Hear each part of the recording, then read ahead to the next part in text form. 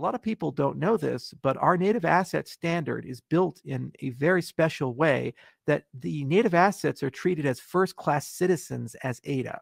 So next week, February 24th, uh, we're going to go ahead and uh, initiate the hard fork combinator event to upgrade Cardano to support native assets. We call this the Mary HFC event. What that means is now Cardano is going from a single asset system to a multi asset system, and you, the community, get to issue your own tokens. I expect to see Catalyst flooded with lots of crazy, cool, interesting token ideas. Here's the thing those tokens that you issue, all the things that ADA does, they will do. In that, they can go through locking, they'll benefit from the multi sig. The paper wallet generator, when that comes into Daedalus, is going to be available for years. So you can build paper wallets for a multi asset. Uh, the, you know, all the security features are going to be there. We've written multi-asset support into the Rosetta uh, integration for exchanges, so make it very easy for exchanges to list your asset.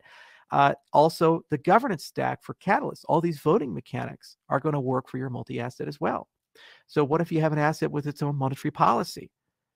Well, then it could have a treasury system, and we can reuse the Catalyst mechanics in the Catalyst community to manage the treasury of that particular asset. And none of this code has to be rewritten. It's just a turnkey solution over an arc of time. This is the power and magic of this that you all uh, can not only have a vocation worrying about the growth of Cardano, but all things issued on Cardano can reuse Cardano's infrastructure, and you can worry about the growth of those ecosystems as well and make your career the career of crypto and decentralization. It's a unique time, and it's a unique framework.